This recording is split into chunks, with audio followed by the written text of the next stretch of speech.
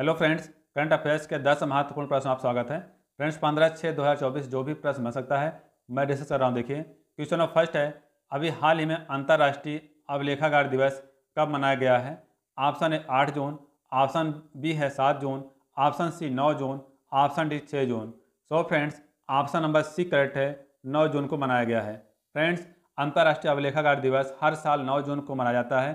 यह दिन अंतर्राष्ट्रीय अभिलेखागार परिषद द्वारा घोषित किया गया था। पहली बार 2008 में मनाया गया था। इसका उद्देश्य होता है संरक्षण, प्रबंधन और उपयोग के बारे में बढ़ावा देना। क्वेश्चन नंबर टू है, अभी हाल ही में उपग्रह तीक्षण पृथ्वी के तापमान की निगरानी करेगा। फ्रांस और किस देश के साथ मिलकर काम कर रहे हैं? Option A, Bharat. Option B, Japan. Option C, Australia.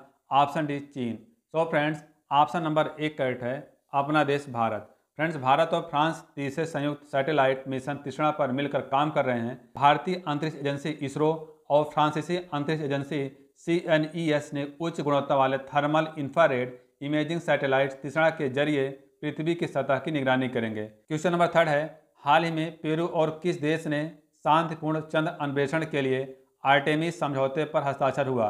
Option A, Slovakia, option B, चीन, ऑप्शन सी, रूस, option D, Bharat. So friends option number एक करेक्ट है, स्लोवाकिया। फ्रेंड्स, पेरू और स्लोवाकिया ने शांतपूर्ण चंद अन्वेषण के लिए आर्टेमिस समझौते पर हस्ताक्षर किए। पेरू की राजधानी लीमा है, मुद्रा पेरुवाई न्यूबोसोल है। स्लोवाकिया की राजधानी ब्रातिस्लावा है, मुद्रा यूरो है। फ्रेंड्स, मुद्रा यूरो स्लोवाकिया की एक जनवरी 2009 से लागू हुई है।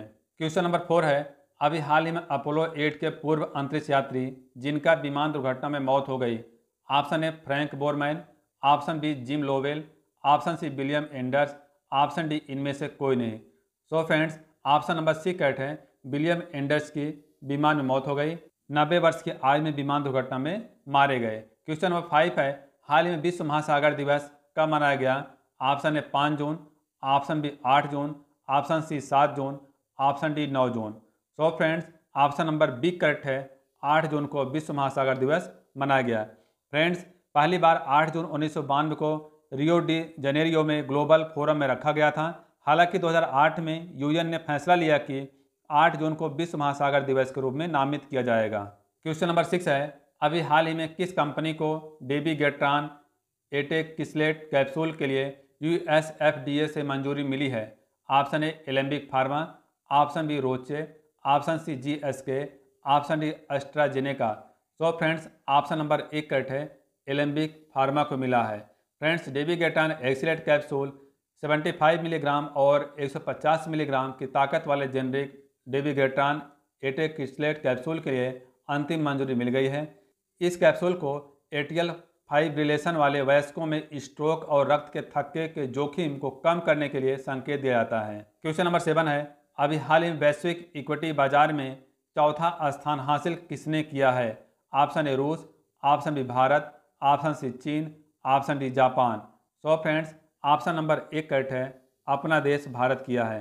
फ्रेंड्स भारत ने वैश्विक इक्विटी बाज़ार में हांगकांग को पीछे छोड़कर चौथा स्थान हासिल किया। क्वेश्चन नंबर एट है, हाल ही में अपना देश भारत डीप सी मिशन करने वाला कौन से स्थान पर है? ऑप्शन ए पहला ऑप्शन बी दूसरा ऑप्शन सी चौथा ऑप्शन डी छठा। तो friends option number D correct है, छठे स्थान पर है। फ्रेंड्स, भारत अपने स्वयं के डीप सी मिशन में छठा देश बनने जा रहा है। भारत की पहली मानव युक्त पनडुब्बी मत्स्य छः हज़ार गहरे समुद्र के रहस्यों का पता लगाएगी। इसके अलावा अन्य पाँच देश हैं, फ्रांस, अमेरिका, चीन, रूस और जापान। क्वेश्चन नंबर नाइन है, अभी हाल ही में कावली पुरस्कार 2024 खगोल भौतिकी, तंत्रिका विज्ञान नैनो विज्ञान में योगदान के लिए कितने विजेताओं को सम्मानित किया गया है? ऑप्शन ए छः ऑप्शन बी आठ, ऑप्शन सी पाँच ऑप्शन डी नौ। So friends option number B correct है। आठ विजेताओं को सम्मानित किया गया है। क्वेश्चन नंबर टेन है। फादर्स दिवस कब मनाया जाता है? ऑप्शन है सोलह जून। ऑप्शन बी पंद्रह जून। ऑप्शन सी बीस जून। ऑप्शन डी दस जून। सो फ्रेंड्स ऑप्शन नंबर एक करेक्ट है। फादर्स डे सोलह जून को मनाया जाता है। आइए फ्रेंड्स जान लेते हैं जून महीने के महत्वपूर्ण दिवस के बारे में। एक जून को माता पिता वैश्विक दिवस, फिर एक जून को विश्व दुख दिवस, दो जून को अंतर्राष्ट्रीय यौन कर्मी दिवस, तीन जून को विश्व साइकिल दिवस चार जून को आक्रामकता के शिकार मासूम बच्चों का अंतर्राष्ट्रीय दिवस पाँच जून को विश्व पर्यावरण दिवस पाँच जून को विश्व प्रजातिवाद दिवस फिर छः जून को रूसी भाषा दिवस कीट दिवस सात जून को विश्व खाद्य दिवस आठ जून को विश्व महासागर दिवस आठ जून को ही विश्व मस्तिष्क ट्यूमर दिवस नौ जून को अमर शहीद बिरसा मुंडा की पुण्यतिथि फिर नौ जून को विश्व प्रत्यायन दिवस फिर नौ जून को है अंतर्राष्ट्रीय पुरालेख दिवस बारह जून को बाल श्रम निषेध दिवस चौदह जून को विश्व रक्तदाता दिवस पंद्रह जून को विश्व पवन दिवस फिर पंद्रह जून को आसियान डेंगू दिवस सत्रह जून को मरुस्थली एवं अनावृष्टि की रोकथाम हेतु तो अंतर्राष्ट्रीय दिवस सत्रह जून को है विश्व मगरमच्छ दिवस अठारह जून को गोवा क्रांति दिवस अठारह जून को अंतर्राष्ट्रीय पिकनिक दिवस अठारह जून को है विश्व एलर्जी जागरूकता सप्ताह उन्नीस जून को संघर्ष में यौन हिंसा उन्मूलन के लिए अंतर्राष्ट्रीय दिवस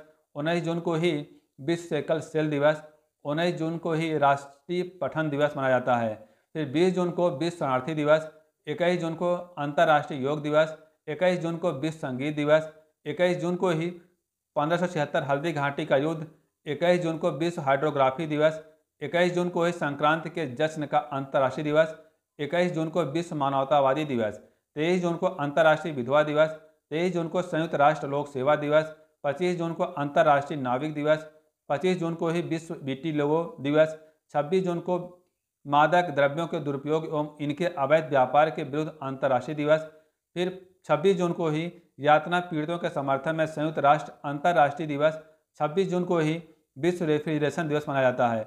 उनतीस जून को राष्ट्रीय सांख्यिकी दिवस 30 जून को अंतर्राष्ट्रीय संसदवाद दिवस, फिर 30 जून को ही विश्व सोशल मीडिया दिवस मनाया जाता है। फ्रेंड्स, ये सारे जून महीने के महत्वपूर्ण दिवस के बारे में बता दिया।